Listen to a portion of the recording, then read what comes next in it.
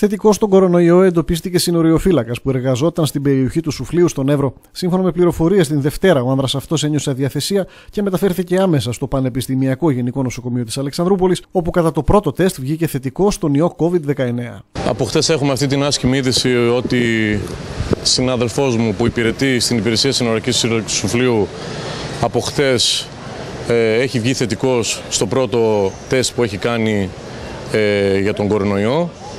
Ε, αναμένουμε σήμερα και το δεύτερο τεστ. Ε, όλα τα συμπτώματα που παρουσίασε ήταν ε, του κορονοϊού. Ε, ελπίζω γρήγορα ο συνάδελφός μας να, να το ευχηθούμε καταρχήν περαστικά, να περάσει γρήγορα αυτή την ε, περιπέτεια και να είναι σύντομα κοντά μας. Ε, ως Ένωση Νεροφυλάκων ε, ενημερώσαμε ε, και την πολιτική και την φυσική ηγεσία. Οι ενέργειες που κάναμε ήταν και στην τοπική αυτοδιοίκηση καθώς ήρθαμε στη συνεννόηση και επικοινωνία και με τον Δήμαρχο Σουφλίου που από σήμερα το πρωί και όλας αρχίσαν απολυμάσει στο χώρο του ΑΛΦΑΤΑΦ και τις υπηρεσίες συνορικής σύλλαξης που συσταγάζονται μαζί καθώς και στα υπερπολικά καθώς και με τον κύριο Αντριπεριφυράρχη Υγείας, τον κύριο Βενετίδη ο οποίος και οι δύο τους θα ήθελα να πω ότι έδειξαν πάρα πολύ μεγάλο ενδιαφέρον ε, κλιμάκι το ΕΟΔΙ ώστε το μεσημέρι θα ανεβεί στο Σουφλί να πάρθουν δείγματα. Ήδη έχουν σταλθεί συνάδελφοι ε, από το πρωί, οι οποίοι ήρθαν άμεση σε επαφή μαζί τους για δείγματα κάτω στο νοσοκομείο Αλεξανδρούπολης. Πέραν των χώρων που απολυμάνθηκαν, εντοπίστηκαν και τα εργαλεία του επαγγέλματος που χρησιμοποιούνται από τους συναδέλφους του. Η φακή και το αυτοκίνητο που οδηγούσε ήταν τα πρώτα που απολυμάνθηκαν, ενώ μέσω αυτών έγινε και η χνηλάτιση ώστε να εντοπιστούν ποιοι άλλοι μπορεί να έχουν προσβληθεί από την ασθένεια. Ο εξοπλισμός, ε, τα δημόσια ήδη και πέρα από τα προσωπικά μας ήδη τα χρησιμοποιούμε όλοι. Πρέπει να είμαστε πάρα πολύ προσεκτικοί, πρέπει να παίρνουμε όλα τα μέτρα ε, για τον κορονοϊό, καθώς όπως βλέπουμε δεν έχει εξαλειφθεί ε, ακόμα και στην περιοχή μας, οποία τα κρούσματα ήταν ε, σχεδόν μηδαμινά.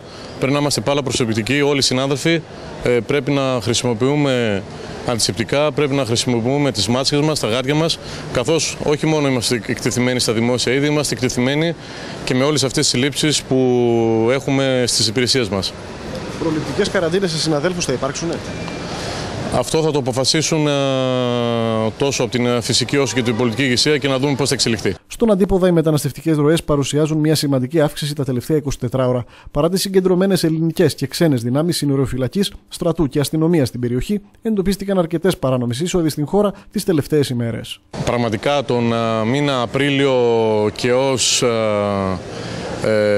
μέσα Μαΐου οι ροές θα έλεγα ότι στον Εύρο ήταν μηδαμινές και το εννοώ. Είμαστε εκεί στην πρώτη γραμμή, με καθημερινά στην πρώτη γραμμή. Ε, τα βλέπουμε καθημερινά, τα βλέπαμε καθημερινά. Βλέπουμε όμως το τελευταίο διάστημα ότι υπάρχει μια μικρή έξαρση ε, πάλι των ροών. Ε, που αφήνεται βέβαια πάντα τέτοιο καιρό είχαμε αυτή την έξαρση. Σίγουρα με την ισχυτική δύναμη η οποία έχει έρθει ε, και μας ε, βοηθάει για τη φύλαξη του συνόρου της χώρας μας. Τα πράγματα θα γίνουν ακόμα πιο καλύτερα γιατί έχουμε ζήσει πάρα πολλές δύσκολες τέτοιους περιόδους κυρίως ε, για την εποχή που μιλάμε. Ε, νομίζω ότι και με την έλευση των 300 οι οποίοι και αυτοί αναμένονται βέβαια πιο αργά, τους περιμέναμε πιο νωρίς, αλλά λόγω της πανδημίας τους περιμένουμε από τέλη Αυγούστου ή Σεπτέμβρη να έρθουν στις υπηρεσίες μας. Νομίζω ότι τα πράγματα θα είναι καλύτερα για μας. Πιστεύω, πιστεύω να γίνουν όλα, όλα καλύτερα, να κάνουμε βήματα στις υπηρεσίες συνοριακής φύλαξης ε, και να κρατήσουμε τα σύνορά μας ζωντανά και να μην ζήσουμε ξανά στιγμές που ζήσαμε τον προηγούμενο Μάρτιο.